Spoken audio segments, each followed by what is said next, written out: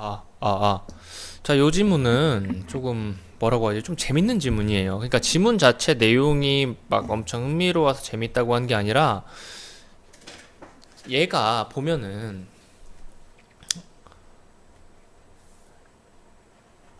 17년 11월에 2학년 학평으로 나온 애잖아요. 이때 이 한계 저감 비용이라는 개념이 처음 나왔어요. 근데 뭐 결국 보면은 똑같은 경제 그래프인데 똑같은 경제 그래프인데 이 이름을 다르게 해서 나온 거지. 그렇게 해서 얘가 나왔는데 이렇게 해서 보니까 학생들이 엄청 어려워하는 것 같아. 그리고 실제로도 막 털리고 그랬지. 그러다 보니까 이게 17년 11월에 2학년 학평으로 나왔는데 이 17년에 2학년이었던 학생들이 18년에 3학년이 되잖아요. 18년 수특에 그대로 또 나왔어.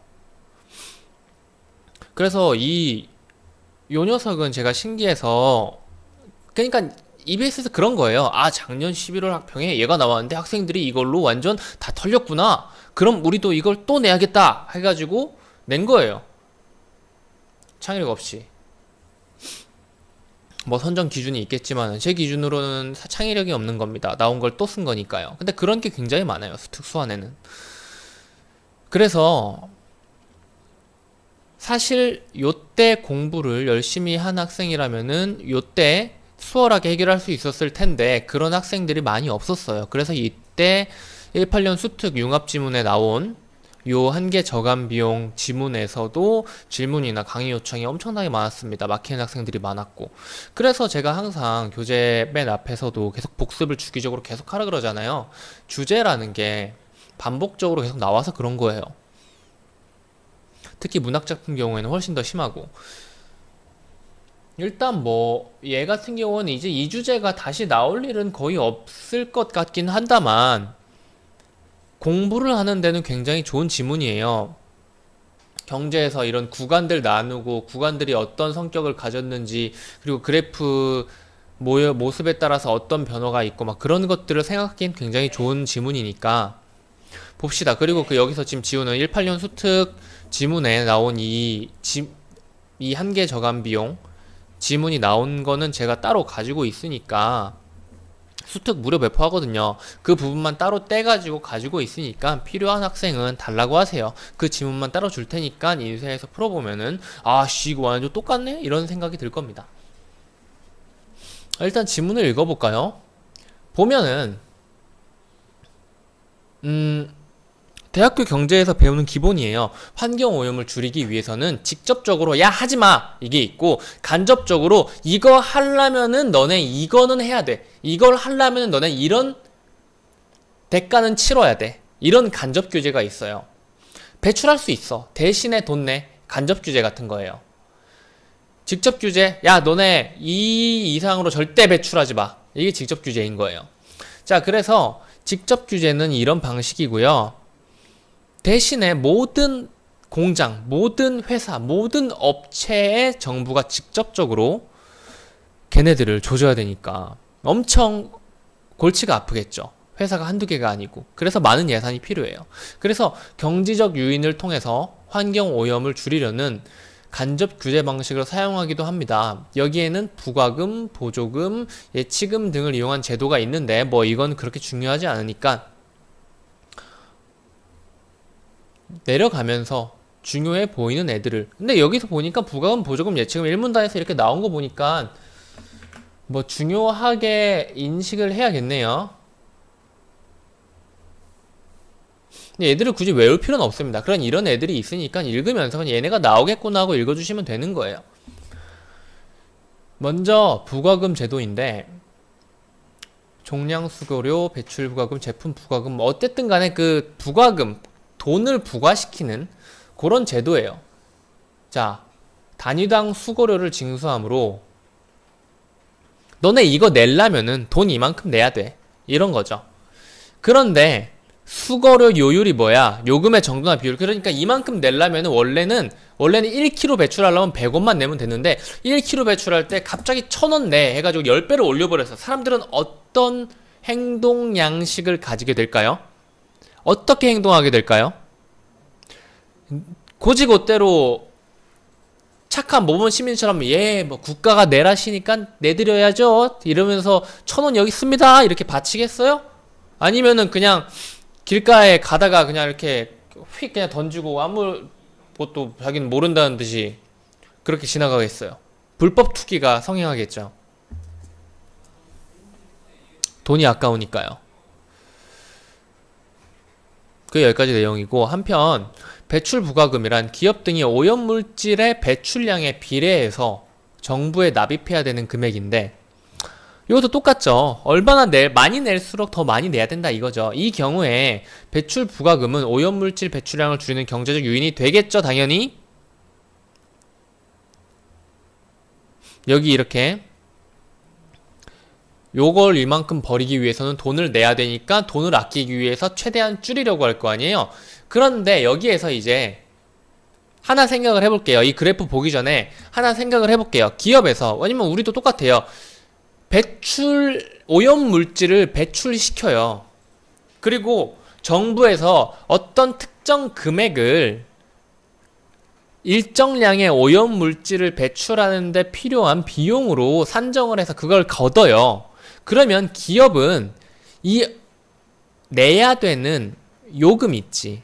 내야 되는 요금보다 자기가 오염물질을 줄이는데 들이는 비용이 만약에 적다면 적다면 어떻게 될까?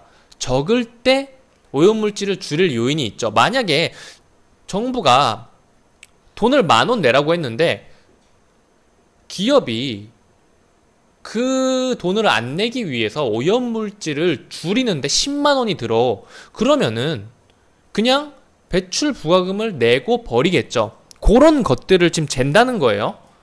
그런 적정한 수준을 어떻게 재, 재야 하느냐 뭐 이런 이야기 드린 거죠. 볼까요? 배출 부과금으로 인해 이거 좀 확대를 해가지고 봐볼까요? 있어봐.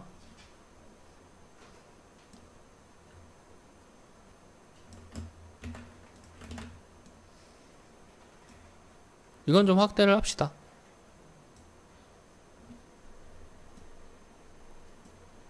이 정도 하면 되겠네요.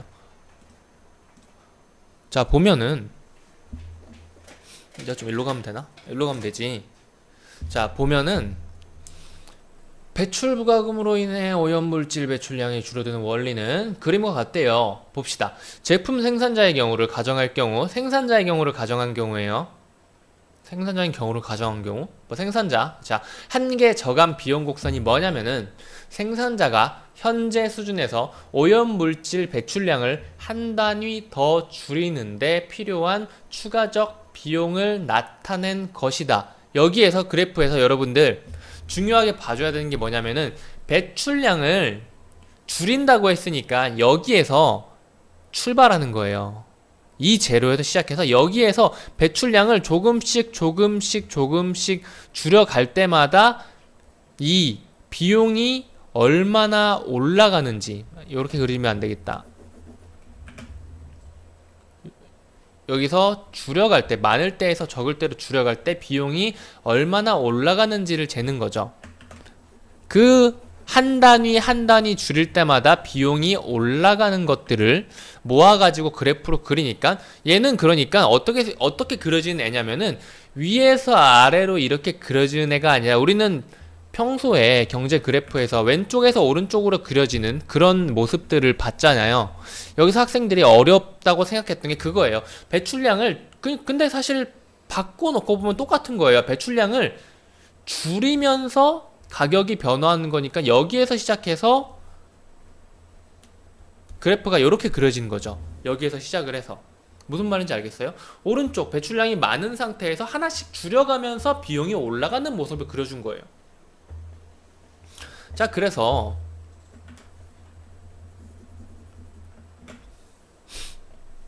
한 단위 줄일 때 더 드는 비용, 일정 구간 줄일 때 늘어나는 비용 뭐 그런 것들을 지금 보고 계신 겁니다. 그림에서 오염 물질 배출량이 현재 상태에서 현재 상태 EP2래요. 현재 오염 물질 배출 상태가 요 상태래요. 요 상태예요. 그러면은 현재 저감 비용은 요 정도가 산정이 되어 있을 거예요. 아니네요. 맞나요? 맞죠? EP2라면은 저감 비용은 요거고 EP1이라면은 저감 비용은 EP1이겠죠. 그쵸? 그림에서 배출량이 적어질수록 이게 뭐예요? 오른쪽에서 왼쪽으로 줄여간다는 거죠. 배출량이 적어진다는 것은 줄인 물질의 양이 많아진다는 거죠. 배출하지 않고 저감한 오염물질이 많아진다는 거죠. 자, 배출량이 적어질수록 한계 저감 비용이 증가한 이유는 배출량을 더 줄이려고 할수록 새로운 설비 추가를 설비를 추가로 설치하는 등 더 많은 비용이 들기 때문이다. 점점 점점 비용이 급격하게 늘어납니다. 일로 갈수록 비용이 급격하게 늘어나죠. 그쵸? 그래서 같은 한 단위를 줄일 때 여기에서 이렇게 줄여, 줄이는 건 이만큼밖에 안 들지만은 만약에 이 점에서 한 단위를 줄이려고 했, 어요 그러면은 비용은 이만큼이 더 늘어나는 거예요. 이만큼이. 왜냐면은 더 많은 설비, 더 고급 장비를 사용해야 되기 때문이죠. 그래서 이 곡선의 아랫부분의 면적은 그래프 각 지점에서 한계 저감 비용을 그대로 따라갑시다. 더한 것이므로 오염물질 배출량을 줄이는 데 들어가는 비용인 저감 비용을 나타낸다. 이 제로에서 이 P2로 배출량을 줄이기 위해서 지불해야 하는 저감 비용은 2입니다.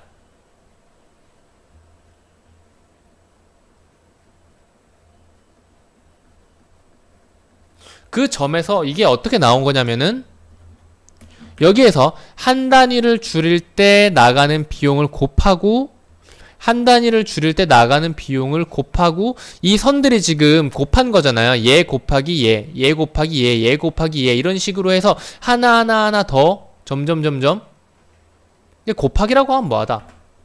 다시 합시다. 다시 설명. 여기에서 얘를 여기서 한 단위를 줄이기 위해서 필요한 비용이 요거 여기서 줄이기 위해서 필요한 비용이 요 세로 여기서 필요한 비용이 요거 여기서 필요한 비용이 요거 이렇게 점점 점점 비용이 요만큼 요만큼 요만큼씩 조금씩 줄일수록 점점 점점 더 늘어나면서 결국은 요 도형이 도형의 면적이 EP0에서 E0에서 EP2로 오염 물질을 줄이는데 필요한 비용이 된 거죠. 그리고 EP2에서 EP1으로 배출량을 줄이기 위한 저감 비용은 뭐가 될까요? 똑같이 하나하나 저감 비용을 곱해 가시면 되는 겁니다. 곱한다? 더한다? 뭐 아무튼 간에. 그래서 요게 되는 거예요. 이건 뭐예요? C 플러스 D인 거죠. 그런데 그런데 정부가 오염 물질 한 단위를 배출할 때마다 T만큼의 배출 부가금을 징수한다면 생산자는 어떤 선택을 할까 하네요. 한 단위 배출할 때마다 요 요것을 요만큼을 더 내래요. 생산자가 이 P2만큼 오염물질을 배출하게 될 경우에 요거 지워 봅시다. 아, 일단 지우지 말까? 이 P2만큼 오염물질을 배출하면 배출량이 EP2에 부가금 T를 곱한 면적인 A, B, C, D A만큼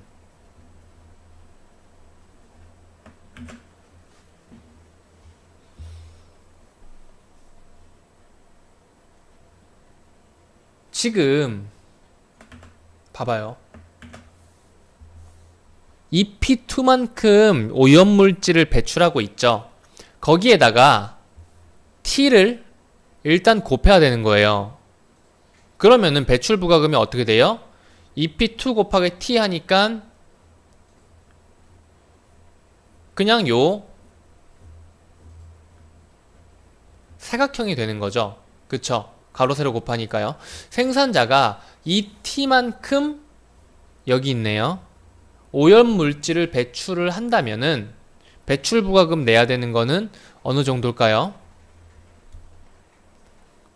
2t 곱하기 t 하니까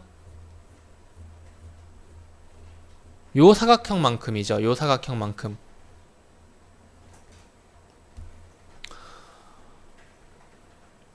현재 여기까지 봤어요. 원래 배출량이 EP2인 생산자가 2T로 오염물질을 줄일 때 저감 비용 아까 우리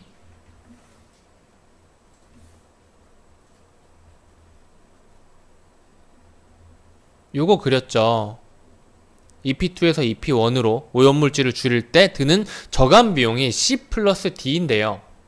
그런데 EP2일 때 정부가 만약에 돈을 이만큼 내라고 했을 때 배출 부가금인가요? 배출 부가금은 이 기업이 EP2에서 EP1으로 줄이는 C 플러스 D라는 비용보다 EP2를 그대로 유지할 때 내야 하는 비용이 이 A 면적만큼을 더 내야 된다는 거예요. 그러니까 줄이는 비용이 정부에 내야 되는 돈보다 덜 드니까 이 기업은 오염물질 배출량을 줄여서 요만큼을 이 A 구간만큼을 아낄 유인이 있겠죠. 실제로 줄이지 않는다면은 이 A 구간까지 비용으로 정부에 내야 되는데 이 A 구간을 안 내고 C랑 D만 자기가 부담하는 거예요. 그러니까 지금 다시 다시 다시 주체가 어떻게 변화하는지 볼게요. 일단 기본적으로 EP2에서 EP 1으로 일단 간다고 가정을 해봅시다. 오염물질 배출 부가금을 받게 돼서 EP2에서 EP1으로 갈 때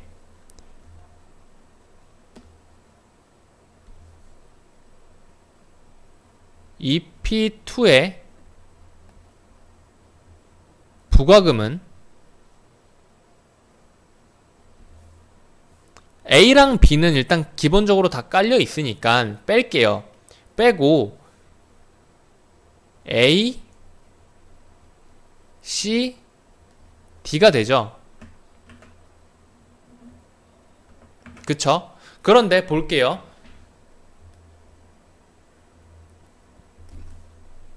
요거는 정부에게 내는 거예요. 그런데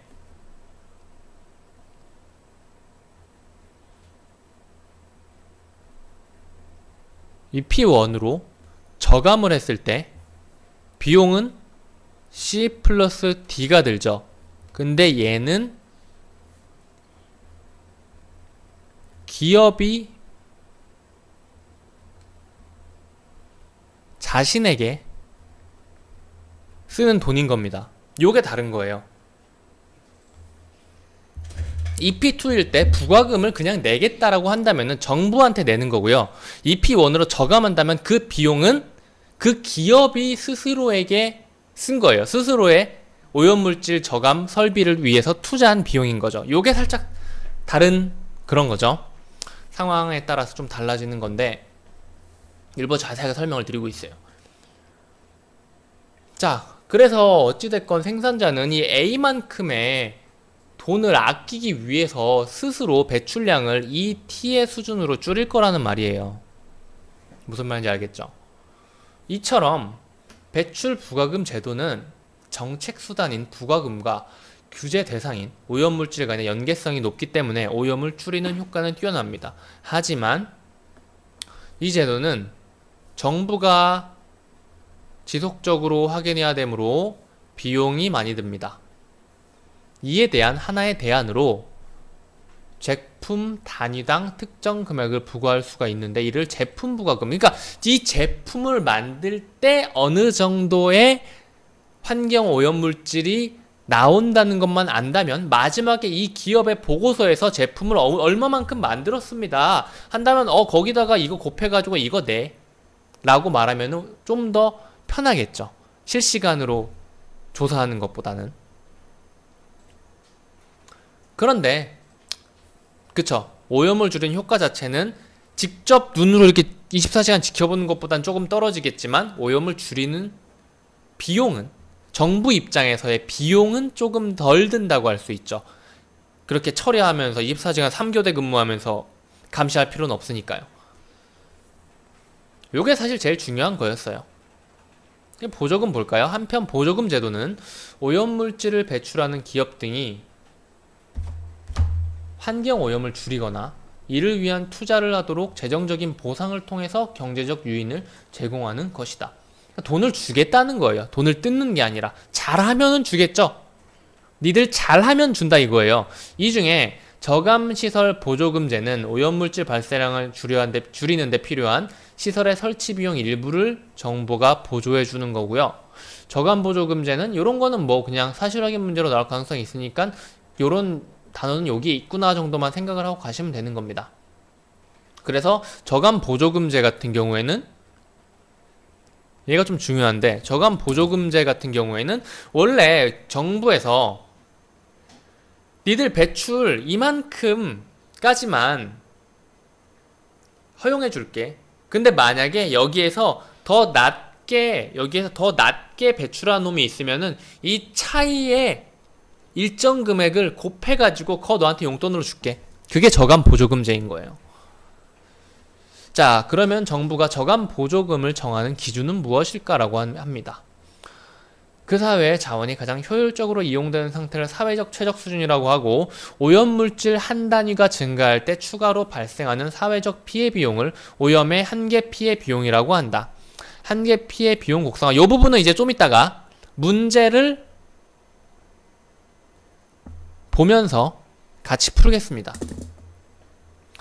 그리고 이 지문은 이제 이 뒷부분은 별로 안, 어려, 안 어려우니까 읽진 않을 텐데 여기 이 문제 지금 여기서 제가 문제 보겠다고 한 얘 있죠. 한계 피해 곡선하고 한계 저감 비용 곡선 얘네 둘을 섞은 그래프가 문제에 나오는데 이 그래프가 이 다음에 이 다음 해 수특에 그대로 이 시험을 본 2학년 학생들이 3학년 때 보게 될 수특에서 그대로 똑같이 나왔어요. 저는 저도 그래도 혹시나 몰라서 여전히 어려우니까 정리해 주긴 했지만은 역시 수능에는 나오지 않았습니다. 일단 지문은 여기까지 하고 살짝 끊었다가 문제로 갈게요.